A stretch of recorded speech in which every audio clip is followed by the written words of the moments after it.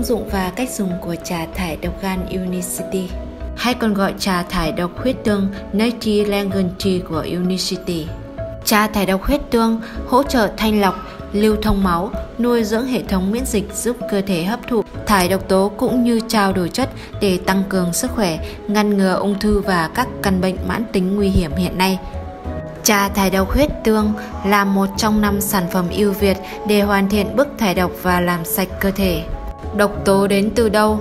Theo Trung tâm Kiểm soát và Phòng ngừa Dịch bệnh của Mỹ, mỗi ngày trung bình bạn đang dung nạp hơn 50.000 loại hóa chất khác nhau vào cơ thể. Thức ăn có chất bảo quản, hóa chất làm tươi mới, đồ uống ô nhiễm, đặc biệt là nước đá hàng ngày trong các ly cà phê hoặc nước ép trái cây, không khí ô nhiễm xung quanh nhà khi đi làm với tình trạng kẹt xe khói bụi vào những giờ cao điểm. Người ta hay ví nguy hiểm như ung thư. Vậy cụm từ ung thư có nằm trong từ điển bạn đang quan tâm. Y học ngày nay đã chứng minh được căn bệnh nguy hiểm nhất của loài người, ung thư có liên quan đến hơn 80% do độc tố gây nên, độc tố cơ thể tích lũy nhiều năm do căng thẳng, chế độ dinh dưỡng kém, môi trường độc hại và ít vận động cơ thể. Hàng triệu người thông minh hiện đang trở thành bác sĩ của gia đình dù chưa từng học qua trường y. Tại sao người bác sĩ đó không phải là bạn trong khi hàng triệu người có thể?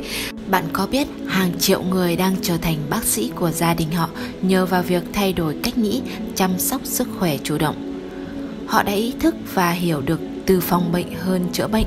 Họ đã tiết kiệm được rất nhiều tiền bạc, thời gian để không đến bệnh viện mà thay vào đó họ có thể chủ động chăm sóc tại nhà. Bạn cần ưu tiên sự tập trung vào việc thải độc và làm sạch cơ thể. Chai thải độc huyết tương giúp thanh lọc giải độc, các hạch các khối u ra khỏi cơ thể, tăng sản xuất tế bào, chống lại nhiễm trùng và các virus xâm nhập, giúp chống viêm, bệnh thấp khớp và bệnh gút, rất lợi tiểu và mồ hôi, giúp ngăn ngừa hình thành sỏi và chống lại các bệnh nhiễm trùng. Hướng dẫn sử dụng trà thải độc huyết tương Natrigan ngừng đi không sử dụng khi bị tiêu chảy, đau bụng, không dùng cho phụ nữ có thai và cho con bú.